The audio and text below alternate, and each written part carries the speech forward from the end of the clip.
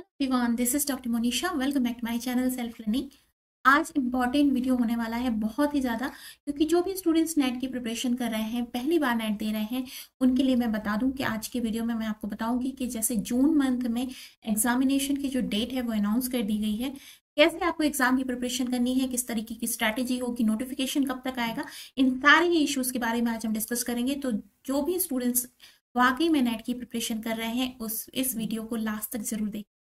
तो देखिए नेट का जो एग्ज़ाम है 2024 में होगा। अभी जैसे दिसंबर में 2023 में हुआ था, इसका नोटिफिकेशन कब जारी किया जाएगा? एग्जामिनेशन डेट के बारे में मैं बताऊँ तो डेट अनाउंस हो गई है। एलिजिबिलिटी क्राइटेरिया क्या होगा? सिलेबस क्या होगा? ये उन स्टूडेंट्स के लिए ज़्यादा इंपॉर्टेंट होने वाला है वीडियो जो इस बार पहली बार नेट का एग्ज़ाम देने जा रहे हैं।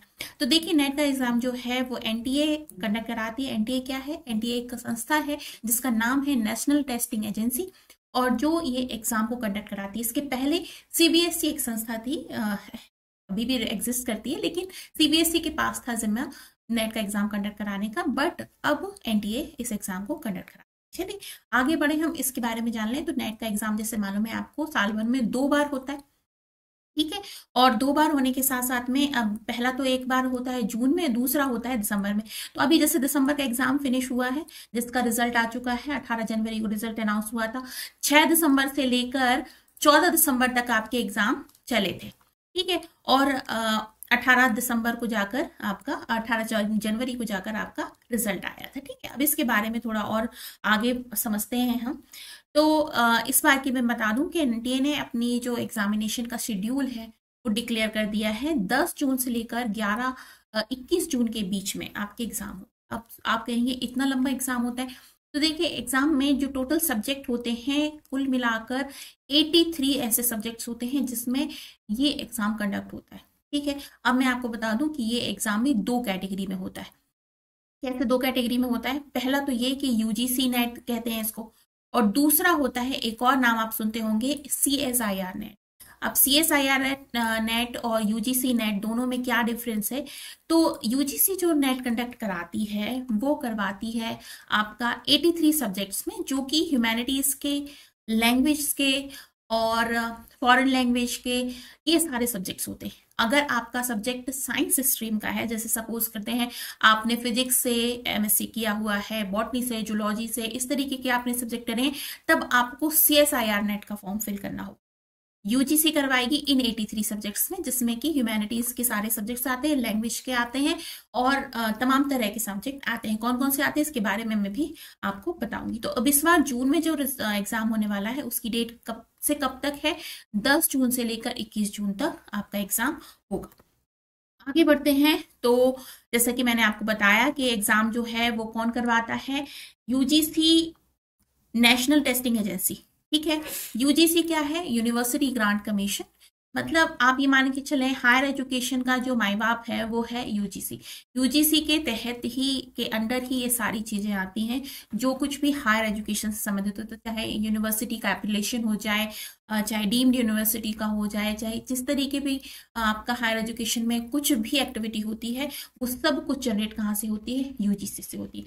और एक संस्था बना दी गई है एग्ज़ाम कंडक्ट कराने के लिए, वो होती है नेशनल टेस्टिंग एजेंसी। मतलब इसका काम ही है एग्ज़ाम कंडक्ट कराना। इसलिए इसको यूजीसी नेट भी कहा जाता है एनटीए यूजीसी नेट भी कहा जाता है।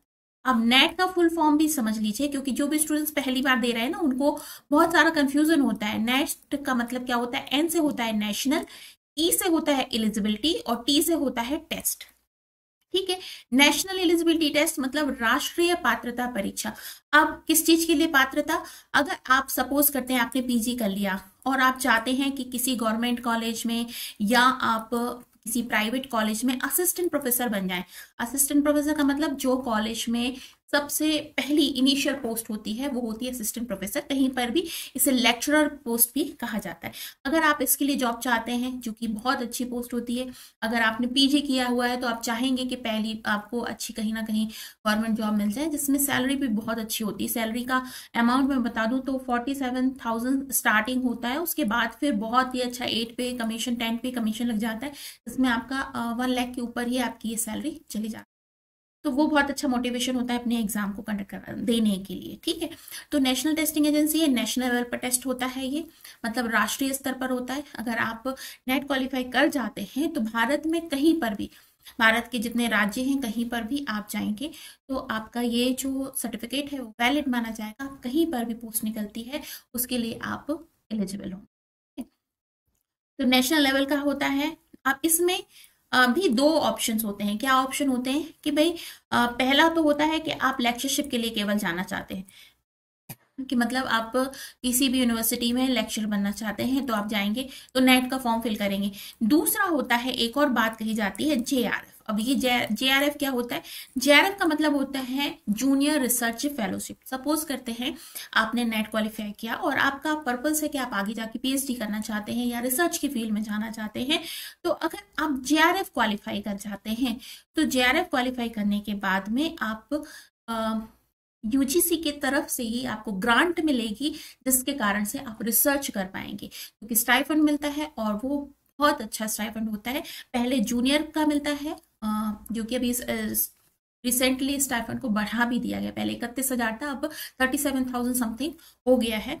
ये बहुत अच्छी राशि होती है, आपको मंथली बेसिस पर मिलता है और दो साल तक मिलता है जूनियर रिसर्च फेलोशिप का। और उसके बाद फिर आप इसको अपग्रेड करते हैं तो आप सीनियर रिसर्च फेलोशिप में चले जाते हैं और उसी दौरान आप अपनी पीएचडी भी कंप्लीट कर सकते हैं। तो जब हम नेट एग्ज़ाम देते हैं तो दो तरीके से फॉर्म फिल होता है, केवल लेक्चरशिप के लिए या फिर जीआरएफ के ठीक है, अब बात कर लेते हैं, जो भी स्टूडेंट्स इस बार देना चाहते हैं नेट वो सोचते हैं क्या हमें दो अलग अलग फॉर्म फिल करने पड़ेंगे? नेट के लिए अलग जेआरएफ के लिए अलग? जी नहीं, ऐसा नहीं है। आप जब फॉर्म फिल करेंगे तो वहाँ आपको दो कॉलम मिलेंगे। एक कॉलम होगा केवल लेक्चरशिप के लिए और दूसरा कॉलम होगा जेआरएफ प्लस लेक्चरशिप के लिए। ठीक है तो अगर आप केवल लेक्चरशिप के लिए जा रहे हैं तो इसमें आप टिक करेंगे और अगर आप जेआरएफ प्लस लेक्चरशिप के लिए जा रहे हैं तो आप यहाँ पर टिक करेंगे। आप कहेंगे कि जब हम दोनों में ही कर सकते हैं तो केवल एक में टिक क्यों करें? तो देखिए जेआरएफ के लिए एक आयु सीमा होती है। मतलब अगर आप जेआरएफ के लिए जाना चाहते हैं तो एक एज लिमिट है, जिसके बारे में मैं आगे बताऊँगी। उस एज लिमिट के अंदर ही आप जेआरएफ के लिए फॉर्म फिल कर सकते हैं। नहीं तो केवल लेक्चरशिप के लिए आपको करना होगा, और लेक्चरशिप के लिए कोई भी आयु की सीमा नहीं है। आप अगर हंड्रेड ईयर्स के भी हो गए हैं तो आप नेट का एग्ज़ाम दे सकते हैं लेक्चरशिप के लिए। आगे बढ़ ले तो थोड़ा बात कर लेते हैं ओवरव्यू समझ लेते हैं कि कौन, क्या होता है ये। तो कंडक्टिंग बॉडी मतलब जो नेट का एग्ज़ाम क्लियर करा कंडक्ट कराती है, वो नेशनल टेस्टिंग एजेंसी जिसको एनटीए कहा जाता है, मैंने आपको पहले बताया। एग्ज़ाम का नाम क्या कहा जाता है? तो यूजीसी नेट 2024 अब ये चूँकि 24 में होगा, इसलिए 2024 हो गया। पोस्ट असिस्टेंट प्रोफेसर के लिए या फिर जूनियर रिसर्च फेलोशिप के लिए, ठीक है?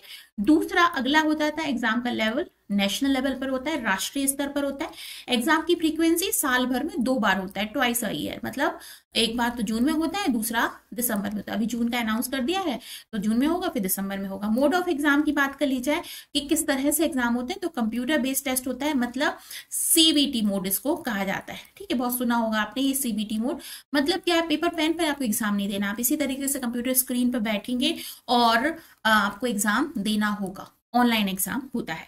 लैंग्वेज कही जाए तो लैंग्वेज दोनों ही होती है। आपकी हिंदी भाषा हो या इंग्लिश हो, आप अपने हिसाब से अपनी लैंग्वेज को चयन कर सकते हैं। उस हिसाब से आप अपना एग्ज़ाम दे सकते हैं। पेपर की संख्या बताई जाए तो दो पेपर होते हैं। पहला पेपर वन होता है पेपर टू होता है। पेपर वन का मतलब क्या होता है? पेपर वन ऐसा कि जिसमें एक जनरल अवेयरनेस टाइप का सिलेबस बनाया जाता है। जिसमें टीचिंग एप्टीट्यूड भी होगा रिसर्च एप्टीट्यूड भी होगा रीजनिंग भी होगा मैथमेटिक्स भी होगा। साथ ही साथ में आपका कॉम्प्रिहेंशन भी होगा। डी आई मतलब कि डेटा इंटरप्रिटेशन भी होगा, है ना? इस तरीके से एक सिलेबस जनरेट किया जाता है और वो पेपर वन होता है, इसमें पचास प्रश्न पूछे जाते हैं पेपर वन में। ठीक है और पेपर टू होता है आपका सब्जेक्ट का पेपर कौन सा सब्जेक्ट जिसमें आपने अपना पीजी किया हुआ है मतलब आपने पोस्ट ग्रेजुएशन जिस भी सब्जेक्ट से किया है उस सब्जेक्ट से आप अपना नेट का एग्ज़ाम दे सकते हैं ठीक है अगली बात है अगर आप किसी तरह से प्रॉब्लम में फंस जाते हैं तो ये इनका हेल्प डेस्क का नंबर होता है यहाँ पर आप कॉल कर सकते हैं ऑफिशियल वेबसाइट ये है इनकी U G C dot N T A dot N T N I C dot in इस पर आप सारी इन्फॉर्मेशन चेक कर सकते हैं ठीक है इंपॉर्टेंट डेट्स के बारे में बता दिया जाए तो मैंने आपको बताया 10 से 14 के बीच जो एग्ज़ाम है, वो 14 से 21 के बीच में होगा, है ना? लेकिन फॉर्म कब तक आएगा? तो फॉर्म जो है वो अप्रैल के महीने तक अनाउंस किए जाएँगे, है ना? अभी फरवरी चल रहा है, अप्रैल के महीने तक आपके फॉर्म अनाउंस किए जाएँगे। थोड़ा और लुक कर लेते हैं हम इसके बारे में यूजीसी नेट का नोटिफिकेशन एक्सपेक्टेड है कि ये अप्रैल के मंथ तक आएगा, ठीक है? फिर यूजीसी नेट का एप्लीकेशन फॉर्म कब आएगा? तो जब अप्रैल में फॉर्म अनाउंस होगा, उसी समय आपका जो नोटिफिकेशन है, वो भी बता दिया जाएगा। एप्लीकेशन की जो प्रोसेस है वो कब तक एंड होगी? जब एप्लीकेशन स्टार्ट होगा, उसके बाद ही करीबन एक डेढ़ महीने का समय होता है, उसके बाद फिर आपकी प्रोसेस फिनिश हो जाएगी। एग्ज़ाम की डेट ज़रूर है, जो कि बता दी गई है। ये बिल्कुल फिक्स है।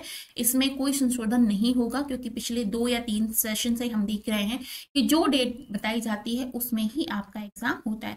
तो 10 से 21 जून के बीच में आपका एग्ज़ाम होगा। फिर जो एडमिट कार्ड हैं, वो मई के महीने में एक्सपेक्टेड होंगे। आंसर की रिज़ल्ट हो जाता है, जब एग्ज़ाम हो जाता है, उसके आठ या दस दिन के बाद में प्रोविजनल आंसर की जारी की जाती है और उसके बाद में आपको टाइम दिया जाता है कि अगर आप चैलेंज करना चाहते हैं किसी भी क्वेश्चन को तो आप चैलेंज कर सकते हैं। फिर उसके बाद में आपका रिज़ल्ट आएगा तो जुलाई के महीने तक आपका रिज़ल्ट अनाउंस किया जाएगा। और एक डेढ़ महीने का समय लगता है एग्जामिनेशन के बाद। जैसे कि अभी दिसंबर का जो हम बताएँ, आपको तो दिसंबर में एग्ज़ाम जो हुआ था, वो 6 से 14 दिसंबर के बीच में हुआ था और जो रिज़ल्ट आया है, वो 18 जनवरी को आया मतलब वही मान लीजिए मोटा मोटा हिसाब के एक महीने का लगभग समय लगता है रिज़ल्ट के अनाउंसमेंट में। आगे बात कर लेते हैं एग्जामिनेशन डेट के बारे में तो बहुत अच्छे से आप याद कर लीजिए 10 तारीख से लेकर 21 जून के बीच में आपके एग्ज़ाम होंगे। अब इतना लंबा समय क्यों लगता है, इसके बारे में बता दूँ, क्योंकि 83 सब्जेक्ट्स हैं। अब हर एक सब्जेक्ट नहीं तो यहाँ पर ऐसा होता है कि हर एक दिन कई सारे सब्जेक्ट्स के पेपर होते हैं, जिसमें आपका, क्योंकि कंप्यूटर बेस्ड टेस्ट है तो इसलिए ऐसे सेंटर्स बनाए जाते हैं जहाँ पे कंप्यूटर की फैसिलिटी होती है, वहाँ पर आप जाकर एग्ज़ाम देते हैं। इसलिए कई सारे दिनों में मल्टीपल शिफ्ट में आपके एग्ज़ाम्स होते हैं। ठीक है, इसलिए इतना लंबा समय लगता है है ना? अब जैसे आपके एग्ज़ाम अनाउंस कर दिए जाएँगे और जब डेट होगी, जैसे 10 जून है ना तो 10 जून मान लीजिए एक जून तक आपकी डेट शीट बता दी जाती है कि डेट शीट में आपका ये पता चल जाएगा कि आपका पर्टिकुलर सब्जेक्ट किस डेट में आपका एग्ज़ाम होगा। ठीक है? अब कैंडिडेट एक्सपेक्टेड uh, जो एडमिट कार्ड है वो करीबन मान के चले। एडमिट कार्ड कब तक आता है तो ये चीज़ बहुत ध्यान से आप लोग सुन लीजिए। बाद में आप पैनिक होते हैं। एडमिट कार्ड आपकी जो डेट होगी जिस डेट में आपका एग्ज़ाम होना है उसके दो या तीन दिन पहले ही आपका एडमिट कार्ड आता है। डेट शीट पहले से आ जाएगी लेकिन एडमिट कार्ड दो या तीन दिन पहले ही आएगा। है ना? और इसके बाद में सारी चीज़ें नोटिफिकेशन के फॉर्म में आपको रिलीज़ कर दी जाती हैं, जिसको आप चेक कर लेते हैं। आपका एडमिट कार्ड भी पीडीएफ के फॉर्म में आता है, जिसे आप फिर आपको डाउनलोड करना होता है। एलिजिबिलिटी क्राइटेरिया की बात कर लेते हैं कि क्या है एलिजिबिलिटी क्राइटेरिया जून 2024 के लिए। तो आपने पीजी किया हो, आपका सब्जेक्ट जो भी है, आप जिस सब्जेक्ट में करना चाहते हैं उसमें आपने पीजी किया है किसी रिकोगनाइज यूनिवर्सिटी से, तब आप नेट का एग्ज़ाम दे सकते हैं। ठीक है? अब पीजी तो आपने किया है मतलब पोस्ट ग्रेजुएशन किया है एमएससी किया होगा एमए किया होगा, है ना? तो पीजी का जो स्ट्रीम है यहाँ पर आपको देखना है कि यूनिवर्सिटी जो हो, वो रिकोगनाइज यूनिवर्सिटी होनी चाहिए यूजीसी से, क्योंकि बहुत सारी यूनिवर्सिटी को यूजीसी ने ब्लैक लिस्ट भी कर दिया है, फर्जी घोषित भी कर दिया है। तो आप बहुत ध्यान से जब भी कोई यूनिवर्सिटी चयन करते हैं, जब आप किसी भी कोर्स को इनरोल करते हैं तो बहुत ध्यान से देखें कि वो जो भी कॉलेज या यूनिवर्सिटी है वो यूजीसी से एफिलेटेड है या नहीं है है ना? और उसके बाद आपका जो मास्टर्स होगा, जिस भी सब्जेक्ट में आपने मास्टर किया है, अगर आप जनरल कैटेगरी के हैं, ठीक है? जनरल यानी कि अनरिजर्व कैटेगरी के हैं तो आपको 55 परसेंट से अगर आपने अपने मास्टर्स किए हैं अच्छा 55 परसेंट का मतलब कंप्लीटली 55 होता है, यहाँ पर 44.5 भी नहीं चलेगा 44.9 भी नहीं चलेगा कंप्लीटली 55 परसेंट होना चाहिए। और अगर S C S T OBC candidate हैं आप तो 50 परसेंट आपका एग्रीगेट होना चाहिए, तब आप इस फॉर्म को फिल कर सकते हैं। पीजी रिज़ल्ट अगर अवेटेड है सपोज़ करते हैं आप पहला सेमेस्टर है, आपका पीजी का, आप पीजी का एग्ज़ाम देने वाले हैं, है ना? तो भी आप इस फॉर्म को फिल कर सकते हैं। अब सपोज़ करते हैं आपने फ़र्स्ट ईयर में है और आपने नेट का एग्ज़ाम दिया और आप बहुत ही ब्रिलियंट स्टूडेंट हैं, आपने नेट क्वालिफाई भी कर लिया तो नेट आपको दो साल का समय देती है कि आप अपनी पीजी डिग्री कंप्लीट कर लीजिए। ठीक है? दो साल के समय तक आप अपनी ये क्वालिफाई कर लीजिए, उसके बाद फिर नहीं तो इस सर्टिफिकेट को डिस्कालीफाई कर दिया जाता है। ठीक है? और हाँ जो पीजी पीएचडी होल्डर्स हैं, जिन्होंने उन्नीस सितंबर उन्नीस सौ इक्यानवे से पहले किया है, उनको पाँच परसेंट का रिलैक्सेशन मिलता है मार्क्स में। ठीक है? अब यहाँ पे बात कर लेते हैं एज लिमिट की बात कर लेते हैं। तो जैसे मैंने आपको बताया कि लेक्चरशिप के लिए कोई एज लिमिट नहीं होती। लेक्चरशिप के लिए तो आप कभी भी इस फॉर्म को फिल कर सकते हैं। लेकिन अगर आप जेआरएफ के लिए डालना चाहते हैं तो फिर आपको तीस अगर आपकी एज है थर्टी है ना? अब थर्टी क्या? अगर आप मेल कैंडिडेट है मेल कैंडिडेट हैं और जनरल कैटेगरी में आती है अनरिजर्व कैटेगरी में आते हैं तो जो मिनिमम एज है वो आपकी कितनी होनी चाहिए? तीस। तो आप अगर मेल हैं और जनरल कैटेगरी के हैं तो आपका जो मिनिमम एज होगा वो तीस साल होगा, ठीक है? लेकिन अगर आपको रिजर्वेशन मिला हुआ है, किसी भी तरह से आपको का रिजर्वेशन मिला है और साथ ही में आप वुमेन हैं मतलब आप महिला हैं तो आपको पाँच साल का रिलैक्सेशन मिलता है। तो केवल जनरल कैटेगरी के मेल जो स्टूडेंट्स होंगे, उनके लिए मिनिमम एज होगी तीस साल, बाकी सभी को पाँच साल का रिलैक्सेशन मिला है। तो ओबीसी के लिए फाइव ईयर एस सी के लिए फाइव ईयर ट्रांसजेंडर के लिए फाइव ईयर और वुमेन और वुमेन चाहे किसी भी कैटेगरी के हो, उन्हें पाँच साल का रिलैक्सेशन मिलता है। इस बात का आपको ध्यान में रखना है।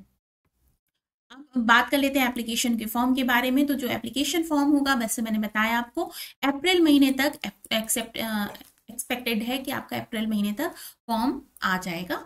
और, लेकिन एग्ज़ाम की जो डेट है, उसमें आप बिल्कुल भी डाउट मत कीजिएगा। एग्ज़ाम जो होगा, वो उसी डेट में होगा जो कि अनाउंस की गई है। इसके बाद में एग्जामिनेशन फ़ीस के बारे में बात कर ली जाए तो ग्यारह सौ पचास रुपये होता है। अगर आप जनरल कैटेगरी के हैं मेल हैं फीमेल हैं, आपको ग्यारह सौ पचास फॉर्म फिल करना होता है। जनरल ई और ओ ओबीसी एनसीएल जो कैटेगरी के स्टूडेंट्स होते हैं मतलब जनरल में भी इकोनॉमिकल वीकर सेक्शन के जो स्टूडेंट होते हैं, उनके लिए जो फॉर्म की फ़ीस होगी, वो छह सौ रुपये होगी S C S T O B C sorry P W D मतलब फ़िज़िकल जो हैंडीकेप लोग होते हैं, उनके लिए तीन सौ पच्चीस रुपये और ट्रांसजेंडर के लिए भी तीन सौ पच्चीस रुपये की एग्जामिनेशन फॉर्म भरने की फ़ीस होती है। आगे बढ़ लेते हैं हम। तो क्वेश्चन पैटर्न देख लेते हैं किस तरीके का क्वेश्चन का पैटर्न होता है। तो जैसे मैंने बताया आपको एमसीक्यूज आते हैं। एमसीक्यूज का मतलब क्या होता है? क्वेश्चन हो गया। उसके बाद में आपको चार ऑप्शन दिए जाएँगे। और चार ऑप्शन में से आपको जो सही आंसर है, उसको टिक करना होगा। कंप्यूटर पर ये एग्ज़ाम होगा तो ऑनलाइन ही आपको टिक करना होता है। तो इसको एमसीक्यू कहा जाता है। मल्टीपल चॉइस ऑफ़ क्वेश्चन कहा जाता है। पेपर वन जैसा कि बताया, दो पेपर होते हैं। पहला पेपर वन होता है, जिसमें पचास क्वेश्चंस आते हैं और दूसरा पेपर टू जिसमें आपने पीजी किया हुआ था, उसके सौ क्वेश्चंस होते हैं। टोटल जो मार्क्स होते हैं, हर एक क्वेश्चन के लिए दो नंबर होते हैं इस वजह से। तो पेपर वन है, उसके जो टोटल मार्क्स होंगे, वो होंगे सौ नंबर और पेपर टू होगा, उसके जो मार्क्स होंगे, वो दो सौ नंबर ठीक है? हर एक क्वेश्चन के लिए कितना मार्क होता है? दो। अभी तक यहाँ पर नेगेटिव मार्किंग की कोई बात नहीं की जो भी स्टूडेंट्स इस बार प्रिपरेशन कर रहे हैं, मैं उनको बताऊँ कि जून मंथ आपके लिए बहुत ही इंपॉर्टेंट मंथ है एग्ज़ाम देने के लिए, क्योंकि उसके बाद शायद हो सकता है कि अगली बार से नेगेटिव मार्किंग स्टार्ट हो जाए, क्योंकि सिलेबस भी चेंज होगा। और एनटी ने अभी तक तो कोई ऐसी घोषणा नहीं की है, लेकिन मे भी हो सकता है कि आगे इसको अपग्रेड करते हुए इसको भी स्टार्ट कर लिया जाए, क्योंकि सीएसआईआर नेट में नेगेटिव मार्किंग होती है। आगे बढ़ लें तो देखिए यहाँ पर ये बात आती है कि जनरल कैटेगरी के लिए मिनिमम क्वालिफिकेशन मार्क्स चाहिए 40 परसेंट मार्क्स एस सी के लिए 35 परसेंट और पीडब्ल्यूडी के लिए ओबीसी के लिए भी 35 परसेंट लेकिन ये मैं आपको बता दूँ ये एक क्राइटेरिया है है ना? यदि इससे नीचे आएँगे आप तो आप आ, का जो नेट है वो डिसक्वालीफाई मतलब आ, आपको बता दिया जाएगा कि आपने इस बार नेट को नहीं क्लियर किया है। लेकिन ये नहीं है कि अगर आपने सोचा कि चलो फोर्टी परसेंट मार्क्स आ गए मेरे और मैंने क्वालिफाई कर लिया, जी नहीं, ऐसा नहीं होता है। फोर्टी परसेंट मार्क्स आपके आ जाते हैं। इसका मतलब ये है कि आप उस रेस में हैं जिस रेस में नेट क्वालिफाई आपको करना है। ठीक है? फिर बनाया जाता है कट ऑफ़ ठीक है? कट ऑफ़ कैसे बनता है? जो टॉप सिक्स परसेंट स्टूडेंट्स होते हैं, उनको एक लिस्ट में रखा जाता है मेरिट बनाई जाती है, उसमें आपको मेरिट में आना पड़ता है। अगर आप टॉप सिक्स परसेंट में आ रहे हैं, तभी आपका नेट क्लियर होता है। ठीक है? तो अलग अलग कैटेगरी वाइज नेट के लिए कट ऑफ़ जाता है, उसको आपको चेक करना चाहिए। आप हमारे एप्लीकेशन में जाकर कट ऑफ़ लिस्ट चेक कर सकते हैं। आगे बात बताएँ, सबसे इंपॉर्टेंट क्या होता है? प्रीवियस ईयर के क्वेश्चन सॉल्व करना। प्रीवियस ईयर मतलब क्या? पिछले सालों के पेपर अगर आप नेट के लिए प्रिपरेशन कर रहे हैं तो क्या स्ट्रेटेजी अपनानी है? तो आप ज़्यादा से ज़्यादा पहले तो एमसीक्यूज लगाएँ मतलब हर एक टॉपिक के एमसीक्यूज आपको लगाने चाहिए। दूसरा है, पिछले सालों के प्रश्न पत्र आपको लगाने चाहिए। उससे क्या होता है कि हमें पता चल जाता है पीवाईक्यू से कि क्वेश्चन कैसे पूछे जा रहे हैं, जिसको हमें सॉल्व करना है। तो हम उसको सॉल्व करने में अपने आप को समर्थ पाते हैं। इसके बाद में देखिए सैलरी की बताऊँ तो मैं प्राइवेट कॉलेज में आपको इतनी सैलरी लगभग मिल जाती है। अगर आप गवर्नमेंट कॉलेज में लग जाते हैं तो और भी ज़्यादा अच्छी सैलरी हो जाती है, क्योंकि एट्थ पे कमीशन या सेवन्थ पे कमीशन लग जाता है। तो सैलरी तो बहुत ही अच्छी हो जाती है, अगर आप असिस्टेंट प्रोफेसर की पोस्ट पर लग जाते हैं। ये सारे सेंटर्स कोड हैं जिनमें एग्ज़ाम होते हैं अलग अलग सिटीज़ में आपके एग्ज़ाम कंडक्ट कराए जाते हैं, जो आप यहाँ पर चेक कर सकते हैं। ठीक है? तो अगर आप नेट की अब प्रिपरेशन करना चाहते हैं, जो भी स्टूडेंट्स करना चाहते हैं तो अगर आप पेपर वन केवल पेपर वन की करना चाहते हैं तो आप हमारे साथ जुड़ जाएँ। और मैं यहाँ पर अपने चैनल में पेपर वन की कंप्लीट प्रिपरेशन कराती हूँ और अब जून के लिए हमने अपना बैच स्टार्ट किया है। तो जून के लिए जो भी स्टूडेंट्स रेगुलरली पढ़ना चाहते हैं और कंप्लीटली फ्री पढ़ना चाहते हैं तो आप हमारे इस चैनल को सब्सक्राइब कर लीजिए और इससे हमारी क्लासेस का हिस्सा बन जाइए। आपको सिर्फ़ हमारा सदस्य बनना है मतलब हमारे चैनल को सब्सक्राइब करना है और जब भी हमारी नोटिफिकेशन आप तक आती है, उस नोटिफिकेशन को आपको ज्वाइन करना है, यानी कि आपको ऑनलाइन क्लास लेनी है। अब आपको ये चेक करना हो कि किस तरह से मैं पढ़ाती हूँ तो आप हमारे इस चैनल पर जाएँ। प्लेलिस्ट बनी हुई है। पिछले साल की जो वीडियोस हैं, उन्हें आप चेक कर लीजिए। आप देखें, आपको सही लगता है तो आप फिर हमारी क्लासेस अटेंड कर सकते हैं। आगे एग्ज़ाम टारगेटेड स्टडी की बात की जाए तो किस तरीके से हम टारगेट कर सकते हैं एग्ज़ाम का? क्योंकि जून का जैसे मैंने बताया, जून एक ऐसा समय है एग्ज़ाम देने का जो सही होता है, क्योंकि ठंड हो जाती है दिसंबर में। जब एग्ज़ाम देना उतना नहीं मतलब समय नहीं उतना हो पाता है। जून में काफ़ी बड़े सम, दिन भी होते हैं, आप अच्छे से स्टडी अपनी कर सकते हैं। ठीक है? और जैसे आजकल थोड़ा सा वेदर चेंज हुआ है तो जून में उतनी गर्मी नहीं होती है अब जुलाई, अगस्त में जाके गर्मी होती। है तो आपको रेगुलरली स्टडी करनी है, आपको अपने नोट्स बनाने होंगे। नोट्स बनाकर प्रॉपर स्टडी करनी होगी, ठीक है? कोई बुक आपको एक खरीदनी होगी पेपर वन या पेपर टू की पेपर वन के लिए और पेपर टू के लिए। आपको अपने टॉपिक के डेली एमसीक्यू सॉल्व करने हैं डेली है ना डेली बेसिस पे करने हैं। कोई भी आप, जिससे भी आप कनेक्ट होते हैं, उसकी जो वीडियोस हैं, उसे आपको चेक करना है, रोज देखना है और एटलीस्ट पाँच सालों के पेपर करना अब आप ये कहेंगे, ये सारी चीज़ें हमें कहाँ से मिलेंगी? क्योंकि इतना ज़्यादा डिस्ट्रैक्शन है कि आप कहीं ढूँढने जाते हैं, कुछ भी आपको मिलता नहीं है। तो आपको अगर पीडीएफ नोट्स बनाने का समय नहीं है, आप जॉब पे हैं जॉब कर रहे हैं, आप नोट्स नहीं बना सकते हैं तो आप नोट्स खरीद सकते हैं। ठीक है? आपका अगर पेपर वन है पेपर वन तो सभी को देना है। तो पेपर वन है आप और आपकी हिंदी या इंग्लिश जो भी आपकी भाषा हो, आप हमारे इस एप्लीकेशन में जाएँ। सेल्फ लर्निंग हमारा एप्लीकेशन है, इसकी ये लिंक है। लिंक आपको डिस्क्रिप्शन बॉक्स मिल जाएगी। आप डायरेक्टली लिंक पर क्लिक करके प्ले स्टोर से हमारा इस एप्लीकेशन को डाउनलोड कर सकते हैं और उसमें आपको नोट्स मिल जाएँगे। बहुत ही अच्छे नोट्स हैं जो कि आपको मिल जाएँगे तो आप उस नोट्स को परचेस कर सकते हैं। आपका एजुकेशन सब्जेक्ट है अगर तो एजुकेशन के लिए भी आप हमारे नोट्स को परचेस कर सकते हैं। ठीक है? हिंदी इंग्लिश दोनों भाषाओं में। इसके साथ साथ में ये जो एमसीक्यू की मैं बात कर रही हूँ, ये एमसीक्यू आपको कहाँ मिलेंगे? तो ये भी आपको हमारे एप्लीकेशन में मिल जाएँगे, जिसमें आपको ढेरों टेस्ट सीरीज़ मिलेंगी। टेस्ट सीरीज़ का मतलब क्या होता है कि हर एक, जैसे सिलेबस होगा ना तो सिलेबस की हर एक यूनिट के आपको क्वेश्चंस मिलेंगे। तो आप पहले नोट्स से पूरा नोट्स पढ़ें, फिर उसके बाद टेस्ट सीरीज़ पर जाएँ। टेस्ट सीरीज़ में जो क्वेश्चंस हैं वो सॉल्व करें। फिर आपको पिछले पाँच सालों के पेपर्स भी वहाँ मिल जाएँगे। पेपर सॉल्व करें। है ना? इस तरह से आप अगर अपनी टारगेटेड स्टडी करना चाहते हैं तो इस एप्लीकेशन में आपको वो सब कुछ मिलेगा जो नेट के लिए बहुत ज़रूरी होता है। तो आप मेक श्योर कि हमारे एप्लीकेशन को डाउनलोड करें नोट्स आप परचेस करें और उसके साथ में ये टेस्ट सीरीज़ जो है वो भी परचेस कर सकते हैं और आप अपनी स्टडी को कर सकते हैं। साथ ही साथ में हमारी जो चैनल है, उसमें आप हमारे साथ जुड़कर अपनी प्रिपरेशन कर सकते हैं। इसमें सिर्फ़ आपको वीडियोस देखने हैं। जब हमारी ऑनलाइन क्लास चलती है तो ऑनलाइन क्लास अटेंड करनी, इसमें आपको कोई शुल्क नहीं देनी है। ठीक है? तो इस तरह से आप हमारे साथ जुड़कर अपनी प्रिपरेशन कर सकते हैं। इसके अलावा आपकी कोई भी क्वेरी होती है तो ये है हमारा व्हाट्सएप नंबर इस पर आप हमें अपने क्वेरी लिखकर भेज दीजिए। अगर आप हमारा व्हाट्सएप ग्रुप ज्वाइन करना चाहते हैं तो इस नंबर पर मुझे मैसेज करें और हमारे ग्रुप के मैं आपको ग्रुप में ऐड कर लूँगी। टेलीग्राम चैनल से ज़रूर जुड़ जाए, क्योंकि जो भी मैं पढ़ाती हूँ, उसकी नोटिफिकेशन आपको टेलीग्राम पर मिल जाएँगे। इंस्टा पे स्टोरीज डालती रहती हूँ, वो आपको मिल जाएगी। फेसबुक पे बहुत सारी इन्फॉर्मेशन मैं शेयर करती रहती हूँ, हमारा फेसबुक पेज है, उसको आप डाउनलोड कर लीजिए। उसके साथ साथ में अगर आपको कुछ मेल लिखना है तो इस मेल आईडी पर हमें लिख सकते हैं। ये हमारा एप्लीकेशन है, जिसकी मैंने आपको अभी बात बताई है। इसको आपको ज़रूर से डाउनलोड करना है। दोनों ही यूज़र्स एंड्रॉयड की यूज़र्स या आईओएस यूज़र्स, दोनों के लिए मैंने यहाँ पे लिंक दी है।